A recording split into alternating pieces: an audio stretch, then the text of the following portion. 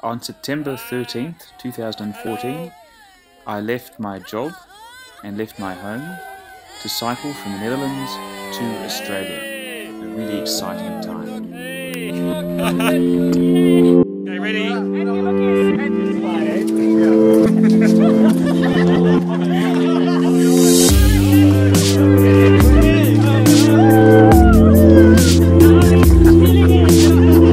Wave. No, no, it's not you. It's, it's the people behind me.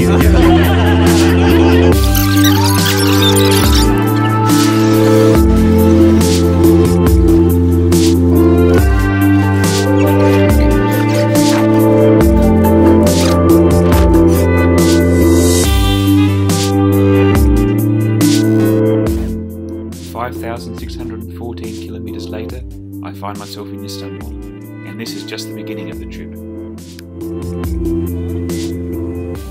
Oh. I want so much more.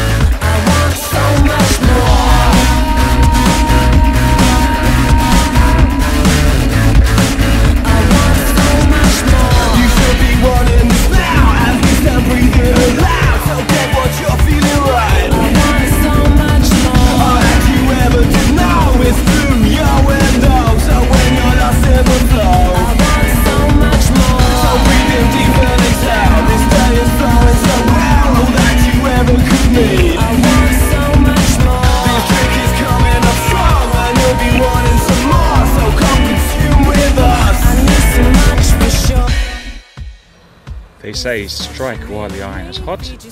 Well, it's lovely weather today, and so I'm going to strike. Hustle, tell the deal. Here we go.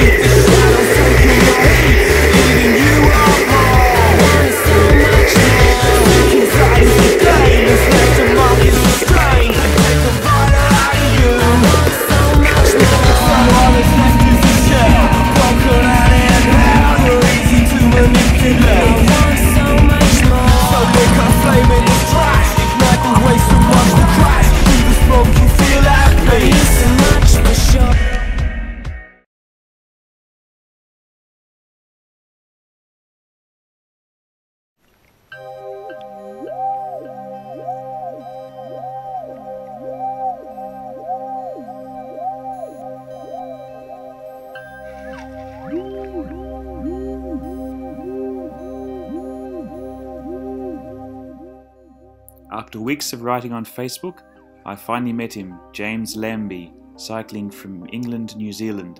It was kind of a Dr. Livingstone, I presume, moment.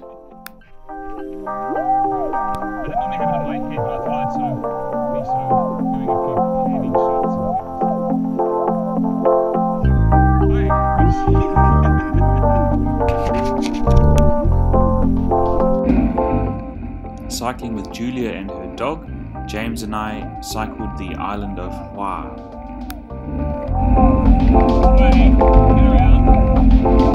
A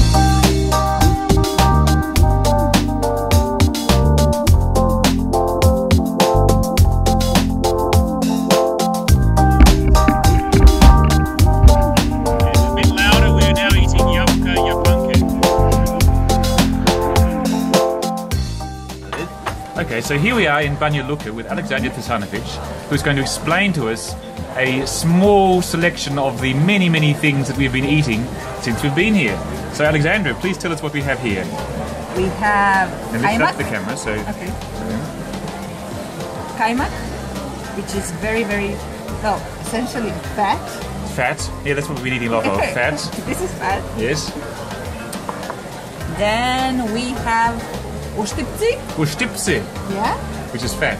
This is bread, fat bread. Fat bread. Fat bread. Our goal is to cycle through the world and eat a lot of things. And you don't have to be eating after this, And- so you can cycle. And so, straight so we can cycle all the way to Australia to uh, burn all this off. And actually, also on the on the um, menu here, they, they have here the number of kilometers you have to cycle to burn everything off. You see, so the first one there is 2.5 kilometers you have to cycle, and that's um, so that that's really helpful here in Bosnia. I'm really really pleased to be here.